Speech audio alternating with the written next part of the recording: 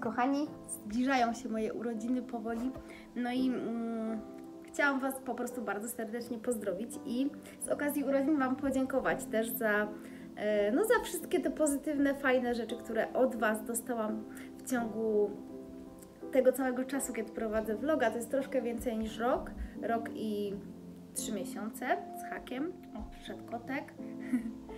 No i w ciągu tego roku naprawdę wydaje mi się, że e, bardzo, bardzo wiele się nauczyłam, wiele, zyskałam dzięki Wam, e, dzięki temu, że oczywiście że zaczęłam robić tego vloga i no i pewne rzeczy, pewne rzeczy też wyszły, że tak powiem, związane ze mną, z, e, z moimi różnymi możliwościami i tak dalej, tak zwany rozwój osobisty.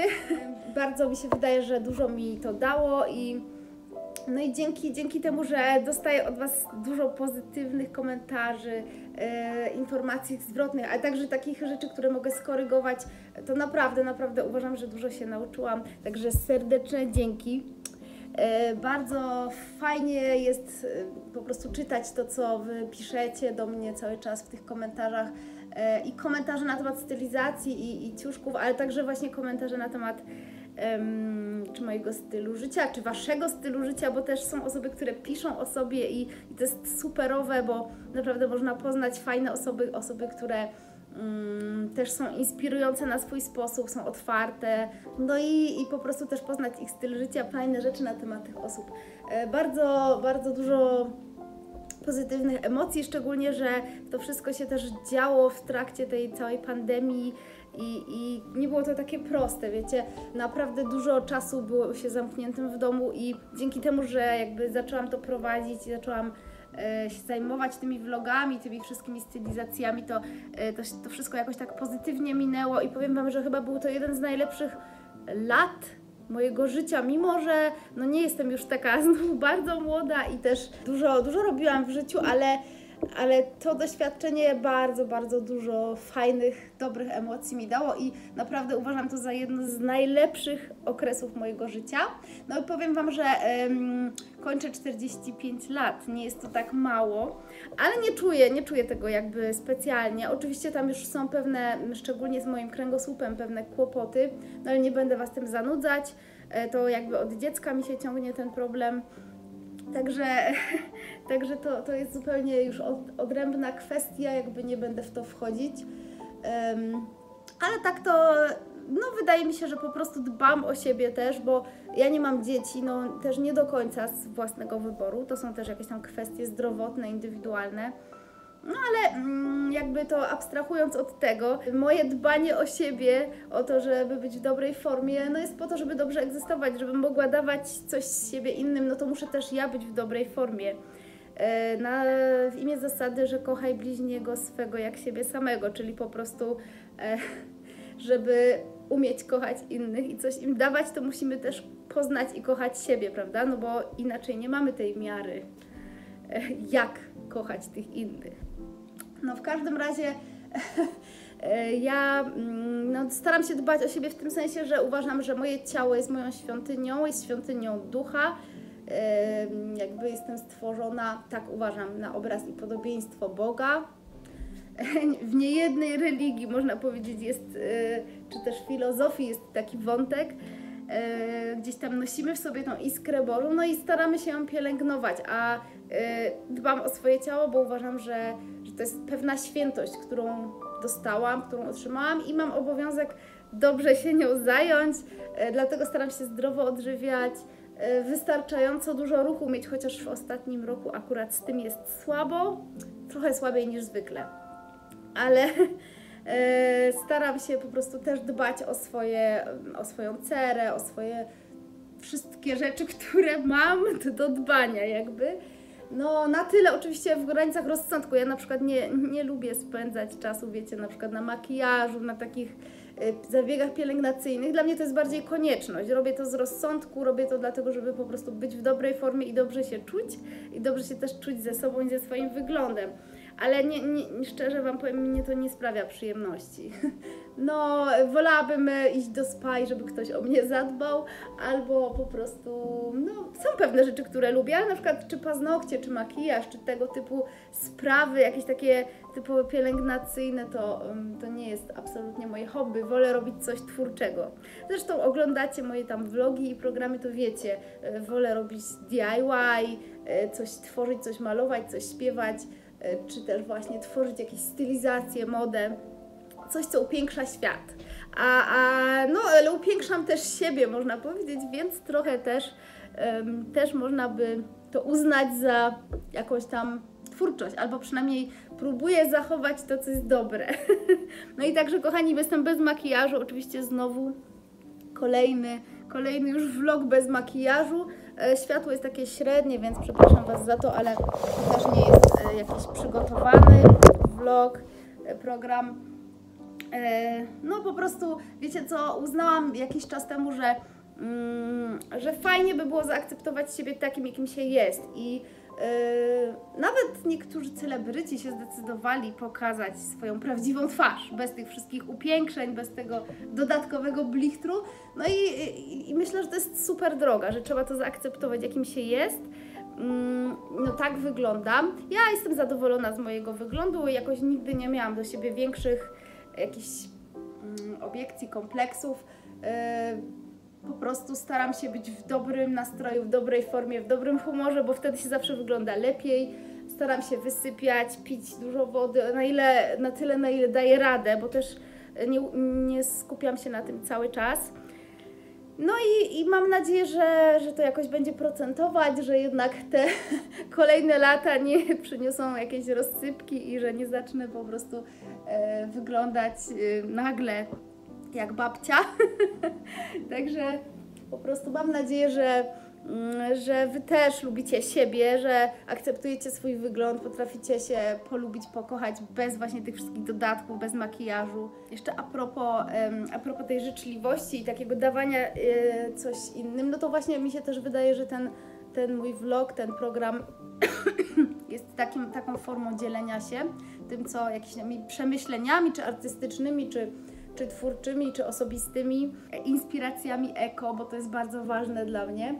No i powiem Wam, że, yy, że też e, wspieram wszystkich, którzy myślą podobnie, którzy chcą właśnie yy, też, żeby świat był lepszy, żeby był czystszy, dbają o to ekologię. I naprawdę ja yy, bardzo wielu youtuberom, youtuberkom komentuję i, i, i lajkuję, polubiam filmy, programy, bo uważam, że trzeba wspierać takie sprawy, trzeba ja się czuję, ja, ma, ja czuję w sobie taką misję, że jednak chcę wspierać te osoby, które dobrze chcą, które, które się przyczyniają do tego czystszego środowiska, do tego, mm, do tego do szerzenia tej świadomości, tej, nie tylko ekologicznej, ale też właśnie takiej tego slow life, slow food, slow fashion i tak dalej. E, no niestety zauważyłam, że no nie wszyscy podzielają mój pogląd, no i to jest troszkę smutne, w sensie, no mam takie przemyślenia ostatnio, że mimo, że wielu osobom jakby pozytywny, pozytywnie, y, polubiłam ich filmy właśnie, y, jestem bardzo otwarta, no to, to niewiele osób tak naprawdę ma podobną postawę. Wydaje mi się, że nie wiem, czy to jest kwestia zazdrości, czy jakieś nie wiem, poczucia, że nie można lajkować czy komentować innych youtuberów, bo bo to jest. No, że to przysparza im większą oglądalność. No ale wiecie co? No i co z tego? Naprawdę, moja, czy moja popularność, czy czyjakolwiek popularność, czy tam oglądalność, czy subskrypcje w ogóle nie zależą od tego, czy ja polubię innych, czy, ja, czy, czy druga osoba będzie miała dużą oglądalność. Bo jeżeli ja robię coś dobrego, wartościowego, to i tak, yy, i tak, i tak będę miała to, prędzej czy później. I naprawdę, y, drogie koleżanki, y, nie ubędzie Wam, jak komuś dobrze zrobicie. Nie ubędzie Wam, jak komuś zasubskrybujecie, jak komuś skomentujecie. No i po prostu, no, dzielmy się tym, co jest dobre. Nie, nie, nie bądźmy tacy skąpi. Mam wrażenie, że po prostu doszłam ostatnio do wniosku, że tam są takie osoby, które właśnie mm, bardzo często komentowałam, dawałam dużo pozytywnych e, pozytywnych słów, ale jakby zero reakcji. I stwierdziłam, że wiecie co, mimo że te osoby są mega zdolne, fajne, ale stwierdziłam, że już nie będę tego robić, bo e, nie dlatego, że tam e, liczyłam na wzajemność, ale jeżeli dajemy dużo dobrego, a ktoś w ogóle ma to totalnie gdzieś, totalnie jakby to ignoruje i uważa, nie wiem, może uważa się za lepszego, to, to w pewnym momencie to się kończy, ok? Ja to wspieram, ja tam mogę to nawet lajkować, ale ja już nie będę tam komentować, czy się udzielać jakoś, żeby tej osobie było miło, bo, no bo skoro nie ma w tym absolutnie żadnej życzliwości ze strony tej osoby, to, to po prostu nie. No nie, nie bądźmy frajerami też, bo, bo stwierdziłam ostatnio, że chyba trochę jestem jednak frajerką, bo ta cała życzliwość ta cała życzliwość po prostu spełza też trochę na niczym, bo owszem, może, może to jest dobre, co ta osoba robi, ja to, jak to wspieram, to się jakoś tam rozszerza, ale, ale, ale fajnie jest też, jak ktoś chociaż okaże Ci trochę, trochę takiego, nie wiem, czy wdzięczności, czy jakiegoś takiego dobrego słowa. Więc po prostu już nie, mimo że naprawdę te osoby, o których myślę, czy ta osoba, o której myślę, jest bardzo fajnie pod względem artystyczno takim, takim um, modowym, to po prostu stwierdziłam, że, że nie, że koniec z tym, bo, no bo ileż można yy, i, i, i po prostu ktoś się uważa za kogoś lepszego, no ja nie będę się porównywać, bo moje osiągnięcia tam y, artystyczne czy osobiste mogą być 10 razy lepsze, ale ja się tym nie będę chwalić, ja nie będę tego wyciągać i, i po prostu tym machać ludziom przed nosem, byle mnie tam docenili i, i pokazali. Jak ktoś y, nie jest y, nie chce dzielić się e, czymś dobrym, jak ktoś nie ma na to ochoty, jak ktoś e, uważa, że jest lepszy, to niech sobie uważa, ale w takim razie ja, ja po prostu też nie mam obowiązku e, tego wspierać aż tak, prawda? No, także myślę, że myślę, że to jest po prostu bzdura, że, że, że jakaś tam zazdrość czy jakaś konkurencja. No, w czym jest konkurencja, ale to, co dobre się obroni, a to, co E, a, a czyjeś powodzenie nie, nie zwiększy mojego czy niepowodzenia, czy powodzenia. To jest zupełnie niezależne od siebie i, i, i no i, i, ja uważam absolutnie, że powinniśmy się wspierać. Jeżeli uważamy, że ktoś robi coś dobrego, to wspieram to.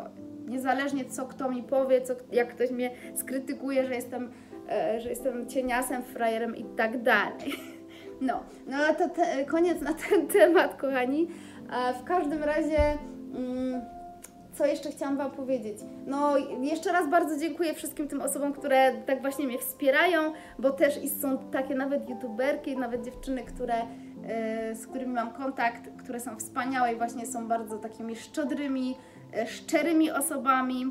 Mm, nie uważają, że po prostu są kimś tutaj lepszym, bo mają trochę więcej wyświetleń lub subskrypcji. To jest, to jest totalna abstrakcja, totalna bzdura i myślę, że prędzej czy później każdy do tego dojdzie, że, że jakby wartość ani człowieka, ani nawet jego, e, tego co tworzy, nie, nie ma nic wspólnego z tym, ile kto ma subskrypcji.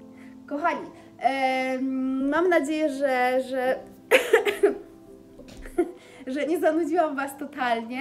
No i jeszcze raz bardzo dziękuję e, i, i naprawdę no, bez Was by, by tego nie było i, i po prostu jestem mega wdzięczna wszystkim, wszystkim, wszystkim, którzy tam oglądają, polubiają, a szczególnie tym, co jeszcze komentują i którzy są tam w takim fajnym kontakcie ze mną, bo to jest dla mnie bardzo ważne i wiecie, że, że naprawdę to się liczy, to się bardzo liczy.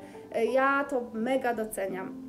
No i moi drodzy, e, zobaczcie, tu jeszcze przy okazji pokażę Wam przebitkę, bo wczoraj malowałam mebelki na taras, bo będę kręcić w przyszłym tygodniu już wstawiać filmik o tym tarasie moim, e, czyli tam patio makeover i tak dalej. Już będę też kręcić DIY z tworzeniem stolika z opony e, i będzie on i w tym vlogu o tarasie i też wstawię zupełnie osobny filmik, taki wiecie, mm, z przyspieszeniami, pełny już proces tworzenia tego stołu. Także czekajcie na te filmiki. No i kochani, e, bardzo was, bardzo was serdecznie zapraszam też na hol. Wszystko po 2 zł i nie uwierzycie, co kupiłam za 2 zł, także zajrzyjcie, żeby uwierzyć. Kochani, do zobaczenia. Całuję Was bardzo serdecznie.